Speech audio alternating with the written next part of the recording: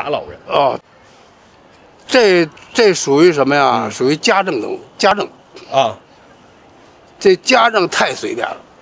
哦，甭管他是什么人，啊，只要是你报名，我就这儿我来。哎，您说这太这说到点儿了，您说这这真是，啊必须所谓的培训，什么叫培训啊？啊，你必须有政治思想头脑，这这可不是小事儿。那哦孩子给你了，是啊，你要管了，这是不是你这？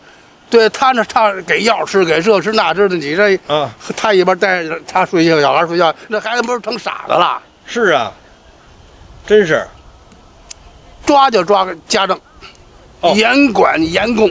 嗯，等于就是说让他们在招人的时候有一个有一个制度。哎，对对，你们严管啊！你看过去的咱们这过去是老妈子，过去是不是？老妈子也好，是他们啊，这个都是找三个，是，是吧？那都是那那人照顾的好，嗯，那都是私人请来的呀，是都是亲戚套亲戚有的。都是请来的，这这特别好。这不行，八百年那是，只不过哪他妈八千里地的那人，好像也不认识。那他他，咱不说人挣多少钱啊，是这这人家是人家劳动，嗯可是你要管控好了。嗯，咱不说人是不是啊？这这没错我挣多少多少钱多少钱？那那啊，这人家劳动劳动，可是你得管控好了，那不行了吧？是啊，而且现在不是基本上，您看要老年人要在家的话，基本上还得安这摄像头嘛。完看有些他就保也属于保姆，也属于护工这块来讲，他不单是不单是保姆保姆就是保姆，这这看孩子这儿，嗯，这老那个老人是也是这个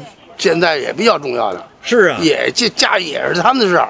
嗯，那都是是哎呦，那个事儿，咱这这这太多了，这都是举不胜数。那比如呢？咱们俩说啊，就是说，啊这这这个我们街坊啊，有一个儿子，他这他他他他他哥他爸住院了吧？啊，拿碗饭喂一口，先吃，再搁喂一口丸子。嗯 这这时候可是他妈是有点他妈忒损了。嗯，那老头儿所以说给他一再再给他一点一口饭吃吧，啊他不吃。